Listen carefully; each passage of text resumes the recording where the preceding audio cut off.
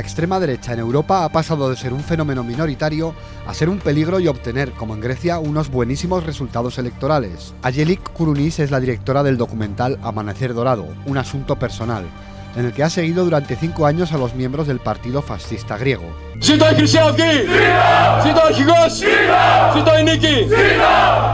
Ayelik, ¿cómo ha sido posible que Amanecer Dorado haya obtenido tan buenos resultados electorales? Lo que ocurrió en Grecia es que después de ocho años de recesión, después de una gran ola de esperanza, la decepción de esta ola de esperanza a pesar de un referéndum, viendo que esta política de austeridad va a seguir, cualquier gobierno eh, en, plazo, pues la gente está extremadamente desilusionada. Hay un tercero del país que vive por abajo del suelo de pobreza, un tercero que no tiene cobertura social medical y por encima, pues políticamente han tenido esta desilusión. Pero la, parte económica no es la única explicación. Hay un disgusto profundo de, de los griegos en frente de sus representantes políticos. 41% de, de los electores eh, no han votado en las últimas elecciones, eh, aunque es obligatorio de hacerlo en Grecia. También una gran parte de la juventud ha quitado el país por buscar un futuro mejor. Todo eso, todas estas razones, incluso que la educación es muy de orientación muy nacionalista en Grecia, abren como una carretera larga para Amanecer Dorado. ¿Qué tipo de personas componen la base social de Amanecer Dorado? No hay realmente una compuesta típica societal, como señora Stella en el documental, eh, que dice no es un tema de, racismo, sino que tengo hambre. Por otra parte, tenéis también en el documental eh, una abogada que admite que no tiene ningún problema de dinero, que vive en un barrio rico, que tiene su trabajo, pero que se dio cuenta que el único futuro para el país es el partido Amanecer Dorado. Está militando para Amanecer Dorado porque es su, única esperanza. En cambio, hay una estadística que em, apoye que los hombres entre 20 y 30 años o jóvenes son los que más son atirados por Amanecer Dorado. ¿Qué empuja a un joven de un barrio obrero a acabar militando en la extrema derecha?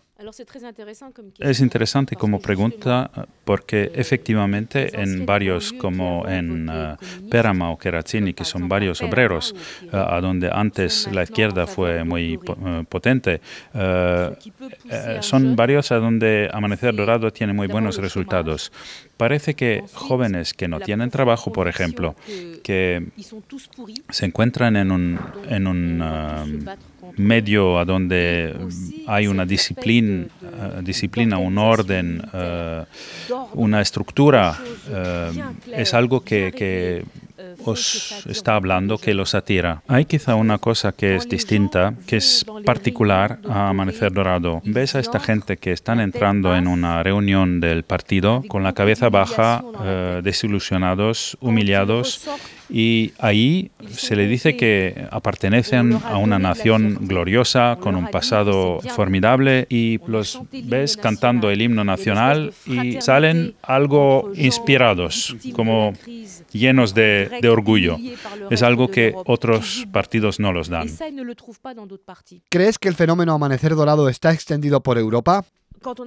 Hace años, cuando empezamos con la película, pues Amanecer Dorado eran los únicos, el, casi el pájaro exótico. Hoy en día hay en, casi todos los países europeos eh, de partidos de extrema derecha, que eh, incluso de neonazis, y hay una dinámica eh, en favor de la ultraderecha en Europa.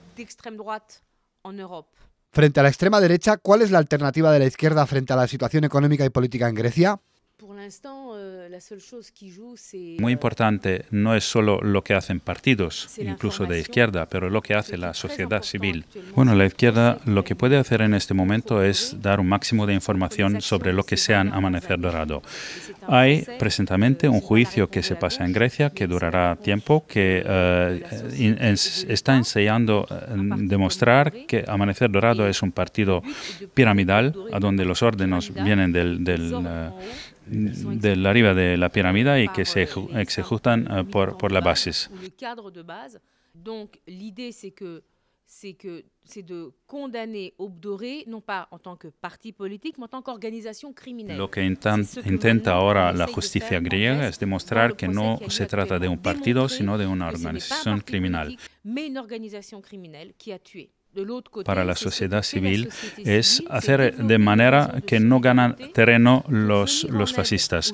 Eso se puede hacer por movimientos y estructuras de solidaridad, por encima de la, filantropía que está haciendo la Iglesia, y es cosa buena dar de comer a la gente, pero mucho más importante ya es eh, darle eh, posibilidades de exprimirse, salen de su depresión colectiva, militan ellos mismos para hacer crecer estructuras y redes de, de solidaridad. Lo que cuenta hacer ahora es encontrar ah, otras formas de vivir en, sociedad, decir welcome en, favor de los, de los refugiados, de los migrantes, en frente de la austeridad y de las medidas eh, de la austeridad, formas de vivir con dignidad.